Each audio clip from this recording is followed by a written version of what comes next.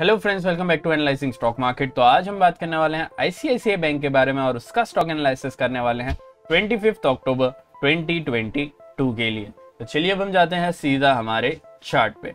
तो यहाँ पे ये चार्ट मैंने ओपन कर लिया है, ये चार्ट मैंने अपने ज़ीरो था के अकाउंट से ओपन किया अगर आपके पास अभी तक अपना डीमैट अकाउंट नहीं है तो नीचे लिंक मैंने डिस्क्रिप्शन में ज़ीरो था की और अब स्टॉक्स की दे दी है, अगर आप चाहें तो हमारे लिंक के थ्रू जो है अब स्टॉक्स में अपना डीमेट अकाउंट जो है वो बिल्कुल ही फ्री में ओपन कर पाओगे और वहाँ से जो अपनी ट्रेडिंग जर्नी जो स्टार्ट कर पाओगे। तो चलिए अब हम बात करते हैं सबसे पहले आईसीआईसीआई बैंक में यहाँ पे आज के दिन मतलब फ्राइडे के दिन क्या हुआ।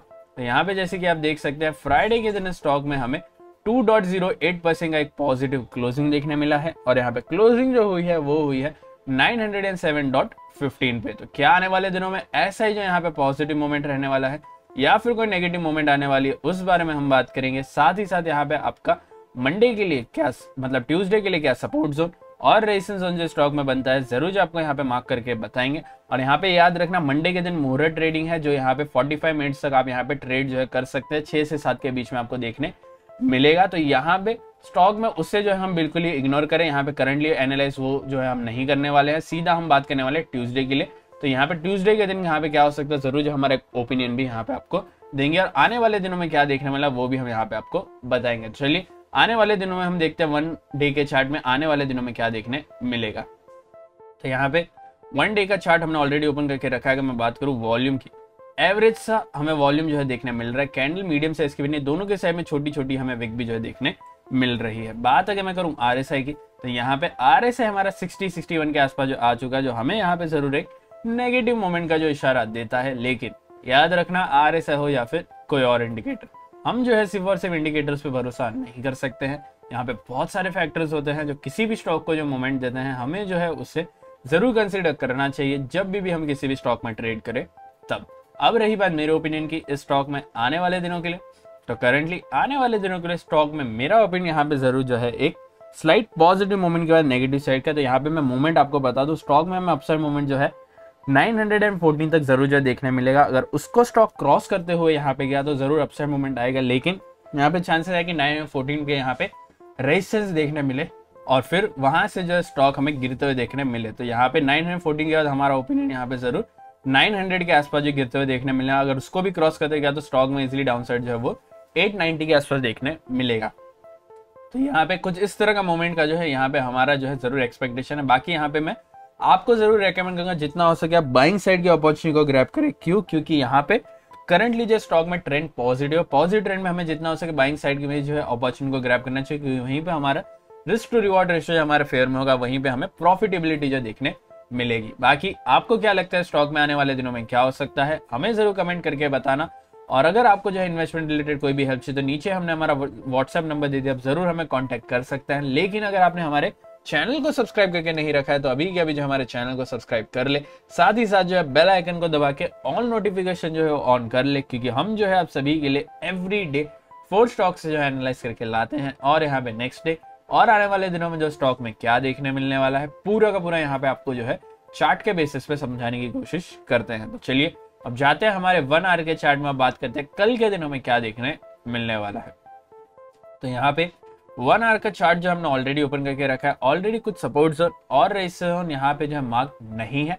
यहाँ पे नीचे के साइड में क्योंकि स्टॉक ने जो अभी अच्छा खासा अपसाइड मोमेंट जो है दिया है तो हमने इस रेंज में स्टॉक का बिल्कुल भी जो एनालाइज नहीं किया था। तो मैं ज़रूर यहाँ पे जो है स्टॉक में मार्किंग जो करके रख देता तो जिस तरह से मैं यहाँ पे मार्किंग जो कर रहा हूँ, मैं चाहूँगा आप भी जो सेम टू सेम अपने चार्ट पे जो मार्किंग्स कर ले, क्योंकि ये सारी की सारी मार्किंग जो है बहुत ही ज़्यादा आपको हेल्प करेगी अपना टारगेट और स्टॉप लॉस को जो है मेंटेन करने में तो ज़रूर जो आप सेम टू सेम अपने चार्ट पे जो है मार्किंग्स कर ले तो ऑलमोस्ट यहाँ पे अब हमारा सपोर्ट जोन का जो है मार्किंग्स कंप्लीट हो चुका है। अब ज़रूर हमारे इस वीडियो को जो है यहाँ पे पॉज करके जो है ये मार्किंग जो है वो ले सकते हैं। तो ऑलमोस्ट ये हमारा सपोर्ट जोन का मार्किंग हो चुका है। यहाँ पे रेजिस्टेंस जोन के लिए थोड़ा समय पीछे जाना पड़ेगा, जहाँ पे स्टॉक जो हमारा अपसाइड मोमेंट जो है वो दिया था। तो इस रेंज में स्टॉक ने थोड़ा सा अपसाइड मोमेंट हमें देखने मिला था। तो ज़रूर जो है यहाँ पे मैं मार्किंग्स कर लेता हूँ, फिर हम बात करेंगे इसके क्लोजिंग की। तो थोड़ा सा जूम कर लेते हैं ताकि हमें दोनों साइड में जो है डेटा क्लियरली जो देखने मिले।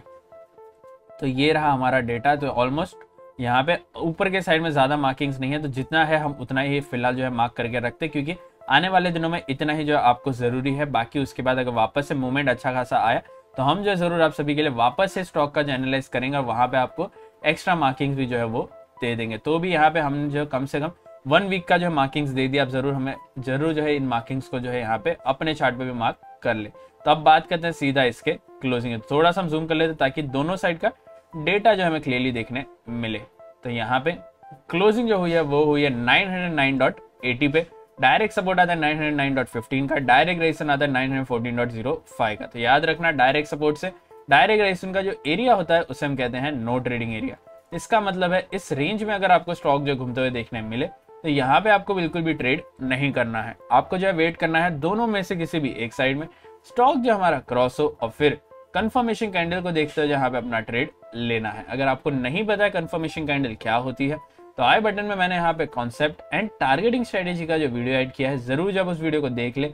वहाँ पे हमने किस तरह से आपको कंफर्मेशन कैंडल देखनी है, किस तरह से यहाँ पे अपना टारगेट और स्टॉप लॉस को जो है मेंटेन करते हुए चलना है। साथ ही साथ इंट्राडे में चाहे हमारा स्टॉक नीचे जाए या फिर ऊपर जाए, आप किस तरह से इंट्राडे में जो प्रॉफिट कर सकते हैं, वो भी हमने आपको समझाया है तो ज़रूर जब उस वीडियो को पूरा का पूरा देख ले। अब रही बात मेरे ओपिनियन की स्टॉक में आने वाले दिनों के लिए। तो करंटली आने वाले दिनों में स्टॉक के लिए जो है, हमने ज़रूर यहाँ पे आपको बता दिया है वन डे के चार्ट में। यहाँ पे ट्यूसडे के लिए अगर मैं बात करूँ तो इंपॉर्टेंट मैं आपको सबसे पहले सपोर्ट जोन और रेसन यहाँ पे क्या बनते हैं after direct support and direct resistance वो यहाँ पे मैं आपको पहले बता देता हूँ। यहाँ पे डायरेक्ट सपोर्ट के बाद अगला सपोर्ट आता है नाइन का, उसके बाद का है नाइन का।